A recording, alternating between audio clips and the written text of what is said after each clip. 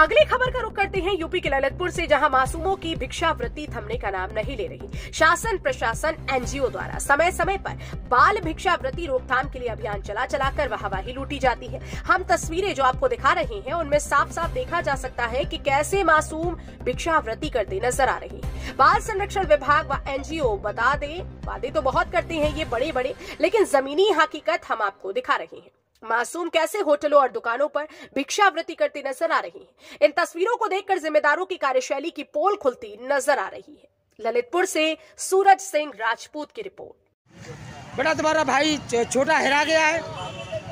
हेरा गया है कहीं पर? क्या नाम है उसका? अंश बेटा है? अंश बेटा कहाँ के हो आप लोग? सिंगापुर। सिंगापुर के हो। कब से भीख मांग रहे हो बेटा आप लोग? हाँ, पापा क्या करते हैं आपके? कबाड़ा? मम्मी? अच्छा।